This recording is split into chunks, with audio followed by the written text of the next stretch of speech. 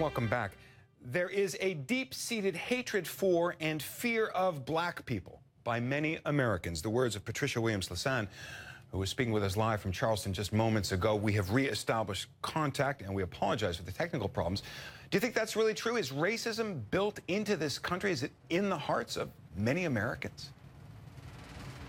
Oh, I definitely think that's the case. Um, we see it playing out in the narratives that we um, see in the in the media, the way that our president is um, described and stereotyped and um, caricatured, the way that uh, uh, black children are uh, considered thugs, and when their white counterparts do the same sorts of things, they kind of are, um, are, are, said to have had mental illness. Or I mean, there's there's definitely um, a narrative where black people are consistently and historically being, you know, described as you know, violent, savage, wild, and that, um, and this is this isn't anything new. And I think that um, we have all these you know these new um, incidents that come up, and um, it speaks to that that fear and loathing of black people.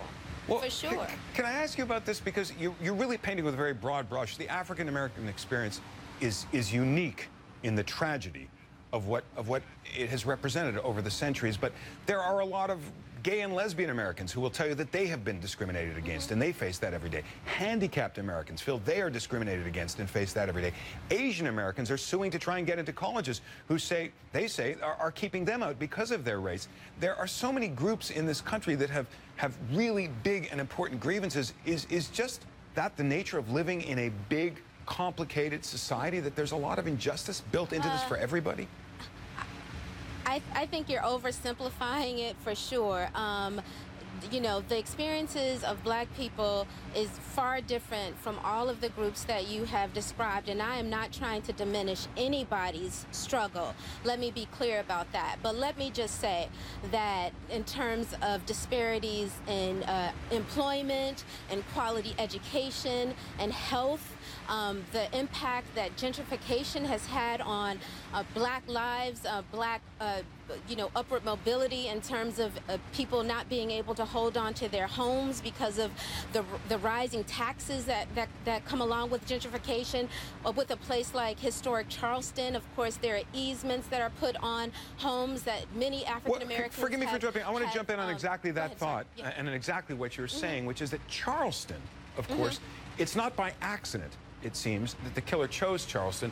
And, and Charleston was, and this is not familiar to, to many people around the world, it was, in a sense, the capital of the American slave trade. Does all of this resonate more because of the city where you've chosen to make your home?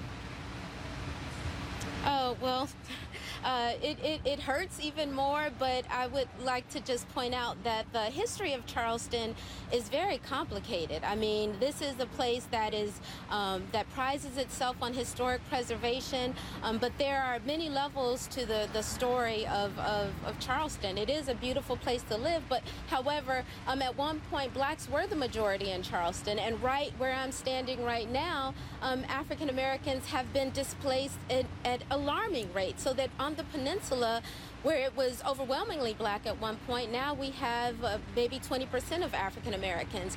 But you will, of course, see African Americans in service jobs on the peninsula. So uh, there's, you know, there's so many levels to this, but, um, you know, the fact that, you know, this guy chose Mother Emanuel, a historic church established by free people of color, formerly enslaved Africans who were who were, you know, determined to be self-determined and to have agency. This was the home church of Denmark Vesey, a revolutionary free man who started a slave revolt. Unfortunately, it was cut down.